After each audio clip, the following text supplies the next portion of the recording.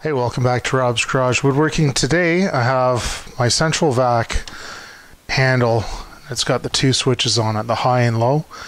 So the low is just for the central vac, and the high turns on your beater bar.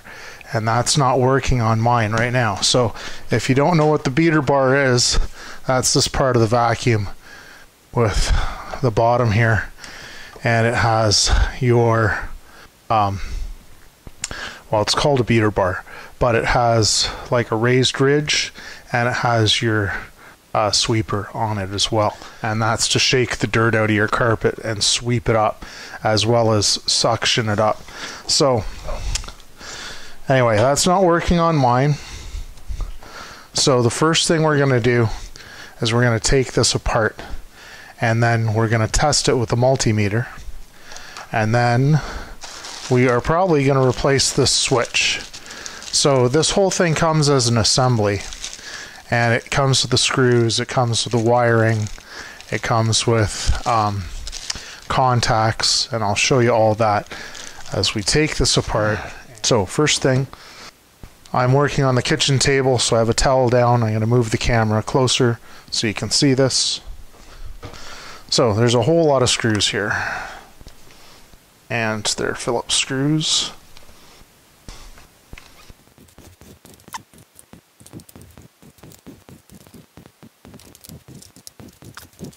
so there's one, two, three, four, five, six, seven, eight screws. I just turn it over, shake the screws out. Come on. One more. Looks like I missed that one.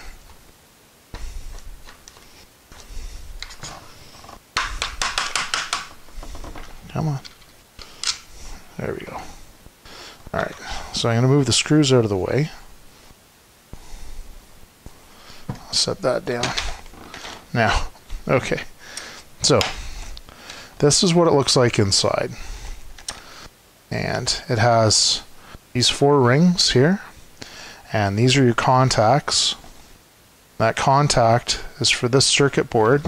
Oops, there it goes. This contact is for this circuit board, which hooks over to the switch and your power inlet here, or your power for your handle. Okay, that's your beater bar power right here. It goes into the handle of the beater bar.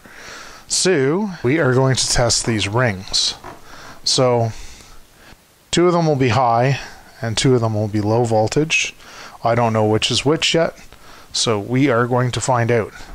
First, we're going to plug in the 120 volt, only the 120 volt. All right, so now that that's plugged in, that means two of these are live. So we are going to set our multimeter for AC voltage, and we're going to check which one has AC voltage. This one, these two rings here, have AC voltage. And these do not. Okay. So, what we're checking for here is we're checking to see if there is a break in the electrical connection from here to the wall. All right. So it looks good right now. We've got Let's see. Set this so you guys can see it. 120 volts. Okay. So, so I know that's these two here. So now I'm going to switch outlets. I'm going to take the electrical outlet out, and then I'm going to put the um, low voltage outlet in, and then I'm going to measure here. Let's see, DC voltage. I might have to have the switch on for this. And this will be low voltage. Those two. Okay. I'm reading 5 volts, which is fine. So what this does is the switch, which is the switch here, and you turn on the low voltage, that sends the signal, it completes the circuit here, and sends it to the relay and the uh, central vac and turns the vacuum on. when you switch it to high, it completes the circuit from here to here, your high voltage, and it turns on your low voltage as well. So it completes the circuit here and here. So these guys right here are the contacts that touch this. So my AC voltage is off. This is just low voltage now, so you don't have to worry about that. But I'm going to unhook it. All right, so we've unhooked it. And what we've established is we've established that there's a good connection, um, low and high voltage. There's no breaks in this uh, piping because the wire runs through with the pipe. So now what we're going to do is we're going to remove the outlet, the switch, the contacts. To take that out. And this looks like it's a universal fit. And I will leave you the part number in the description. It comes with another O-ring. And it comes with more screws, just in case you lose the screws. Okay. All the screws here. Right. Now, it also has this piece of foam in here. You have to take the foam out because these are springy, so it has to has to be springy. Now, that one fits like this. So this goes here. So it slides in. Okay. And this one here. That slides in this way, I think. Yeah, well, there we go. That looks good. Let's route the wires. And then this one. Where did this one go? Oh, it's up here. okay. So, and that just slides in in the front. Okay. So what we're going to do is we're going to route the wires so that the wires don't get in the way of anything. Okay, so you take the O-ring, you set it inside this ridge here, then take this part, slide it in, set that in, clean this off. Yeah. A little bit of spit on it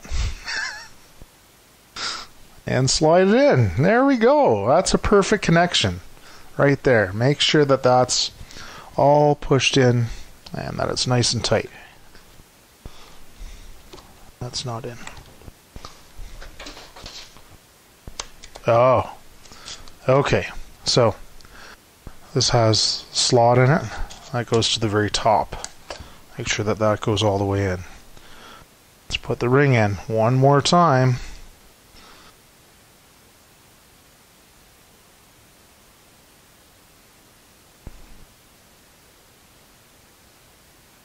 Very aggravating.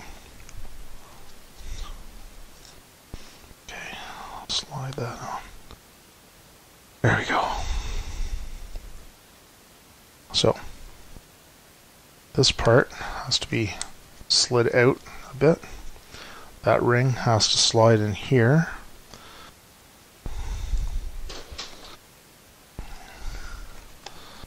And the dog wants to be let in, of course.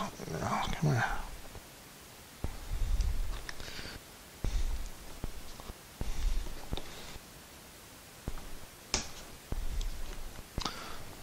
There we go.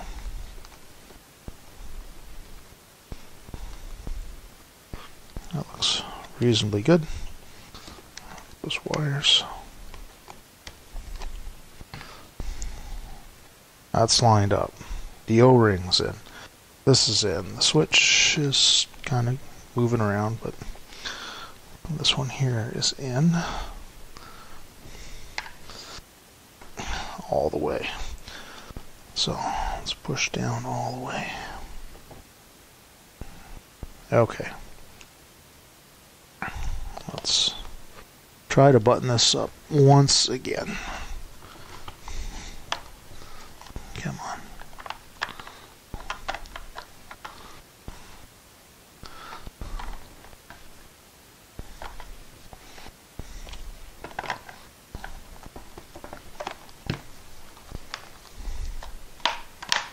Okay. Wow. Okay, that looks pretty good. Let's try those screws again.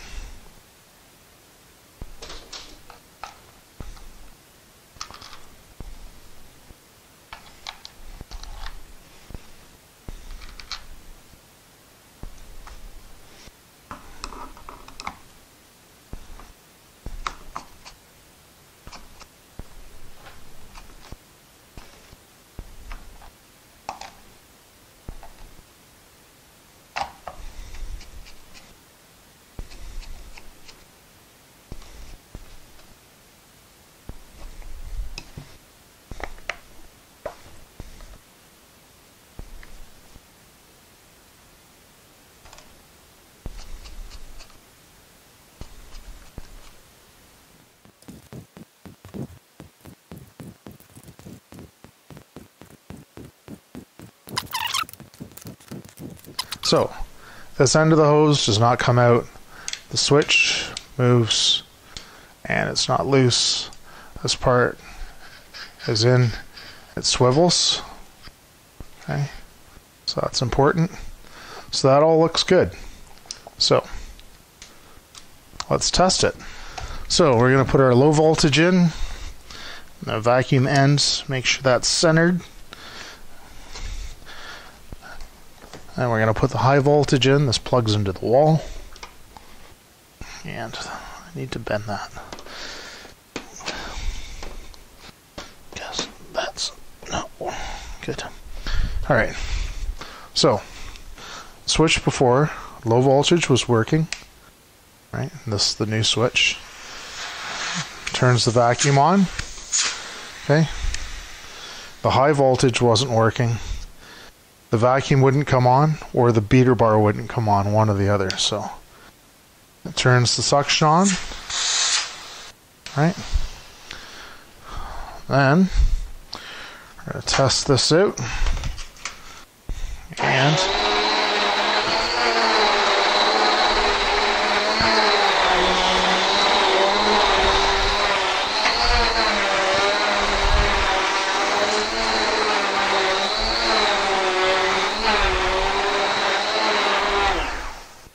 Yeah, perfect.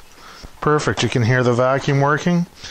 No dust was coming out. It picked all the stones and debris up. All right, so that's it. It's fixed. Um, if you go online, you'll see there's a bunch of uh, reviews on these, and they don't last forever. The switch assembly is a problem, so that's what I replaced. You can replace the whole hose um, one of these high voltage ones is like almost $200 Canadian, and the switch assembly was about $70 Canadian. So it's a significant savings, even though it was still really expensive. It'd be nice just to replace the switch, which is what I believe is the real actual problem. But uh, I don't know what else is in that switch. I suggest that there might be a couple little bits of a circuit in there. So uh, it might not be super easy to switch that out. But you might be able to find it. Have a look and see. So that's it. That's my video. Um, it was a relatively easy fix. It was kind of finicky, but um, it can be done and everybody can do it. So, anyway, thanks for watching. Oh, and by the way, this seems to be a universal fit. Um, which probably means all these are made by the same company, but shh, we won't let anybody know.